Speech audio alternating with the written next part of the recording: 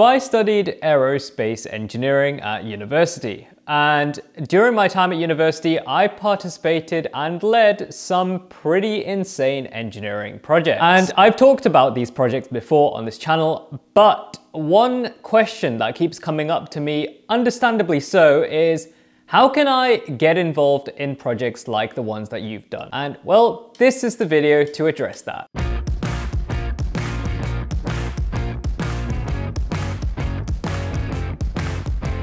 First up, we have Rexus and Bexus, two of the most prestigious competitions to get into that the European Space Agency runs. Rexus and Bexus are in fact two separate categories.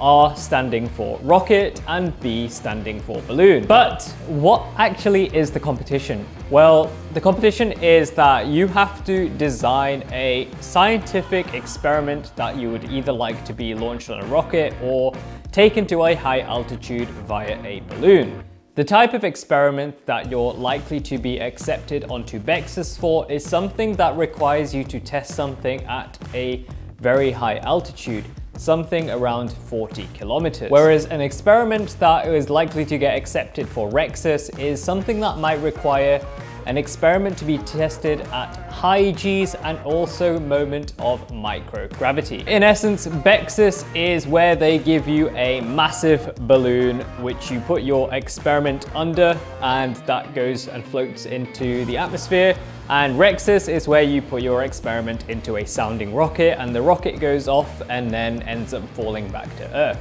So those are the two European Space Agency competitions. HASP the High Altitude Student Platform. This is pretty much identical to Bexus, but it is run by NASA alongside the Louisiana State University in America. This is the competition that I actually partook in when I led Project SunbYte, one of the space teams at the University of Sheffield. The format is, like I said, the same as Bexus, so you just have to write a proposal of an experiment and see if you get accepted. I've talked about a couple of space ones, let's jump to something more terrestrial.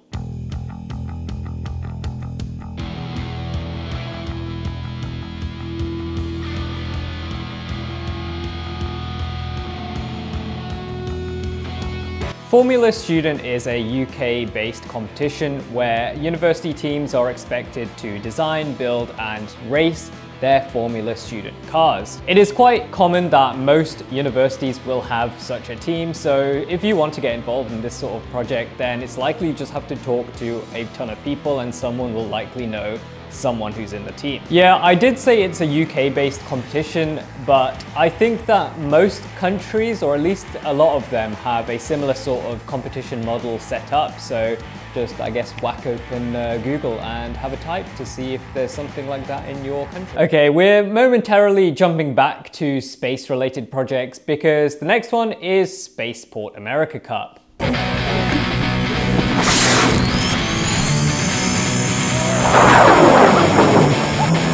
Spaceport America Cup is an intercollegiate competition to design, build and launch your own rocket. With uh, America being in the title of the actual competition, you could probably guess that the competition occurs in America. But if you're not in America, worry not, because it is open to all countries, or at least most countries that I know of. I think the cool thing about this competition is you actually launch the rocket at the same location where Virgin Galactic does its test flights from. My alma mater is actually one of the best in the UK for this competition. So yeah, if you want to join the best student rocketry team in the UK, then uh, the University of Sheffield is definitely where it's at. So if you're one of them elongated muskrat fans, then you're probably going to like this next one, which is called the European European Hyperloop Week. As you can probably deduce from the name, it is a week-long event where you come together from different teams around, the,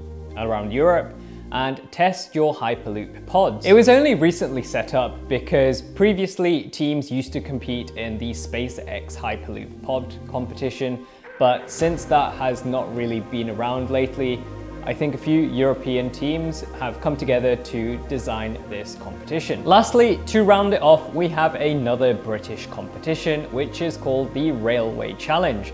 And in this, you're basically expected to build your own locomotive. It's not like a full-scale, full-on train, but you know, it's a scaled down version of what a train would be. And you end up going to a miniature railway in the UK to test it out with other universities. So if you're thinking that, you know, these projects sound cool, you know, it'd be nice to work on it for like a month or a few weeks, I want to stop you right there. These projects are not those types of projects at all. These are types of projects that you need to dedicate a lot of time to and often you need to be committed for a whole year at least. You may be used to seeing like those projects, ideas videos on YouTube. Well, this is slightly different. This is not something that you just knock up in a few days. Like it is easy to think that, yeah, I'm gonna be involved, this sounds fun, but because of how long and how tricky these projects can be, you're likely to, you know, feel very demotivated after maybe about a month or so. But I promise you, if you stick through it and you have the right motivation and passion for actually what you're doing, it is going to be like an incredible experience that you know I can't even describe um, and it's something that you would remember for a long time. And is it worth the difficulty of these projects? I would say a thousand percent yes. Like you will stand out from uh, like a ton of the other engineering graduates that are graduating uh, in your year across the country if you really get fully involved in these projects. So I hope you enjoyed this video and if you learned about anything new to be honest then subscribe to the channel and watch out for awesome more future videos to help you along your engineering journey. And comment down below if you know of any other competitions that students might want to do or something that you're doing yourself. And I'll see you in another video. Goodbye.